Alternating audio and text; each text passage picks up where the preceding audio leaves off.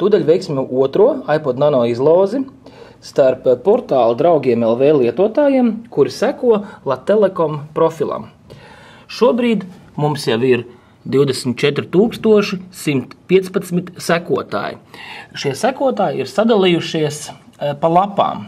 Tātad, un kopā tas ir 1340 lapas. Ar nejaušu programmiņas palīdzību mēs izlozēsim lapas kārtas numuru.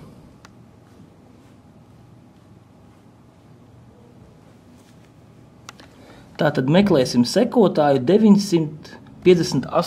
lapā.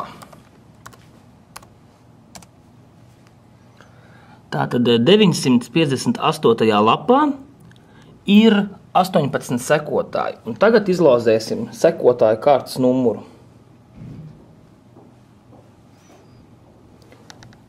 Meklēsim sekotāju ar kārtas numuru 6 šai lapā. Skaitam 1, 2, 3, 4, 5, 6. Un iPod nano no Latvijas iegūst Kārlis Ozols no Smiltenes. Tātad, Kārli, tu tūdaļ saņemsi ziņu un varēsi nākt pakaļ savam jaunajam iPod nano.